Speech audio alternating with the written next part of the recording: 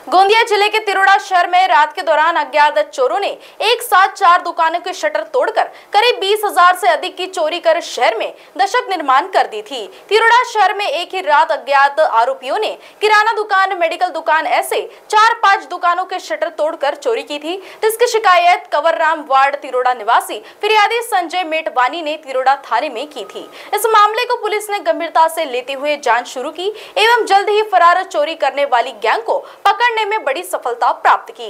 Police ने चार आरोपियों को नागपुर से एवं एक आरोपी को तिरोड़ा से गिरफ़्तार किया है, जबकि एक आरोपी फरार बताया गया।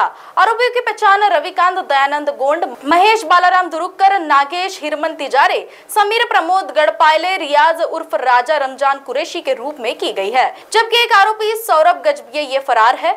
पुलिस ने आरोपियों के पास से अपराध में इस्तेमाल की गई मारुति आल्टो कंपनी की चार पहिया कार दो हज़ार रुपए की रकम जब्त कर ली है। महाराष्ट्र टीवी 24 न्यूज़ के लिए अभिषेक भटनागर की रिपोर्ट गोंदिया।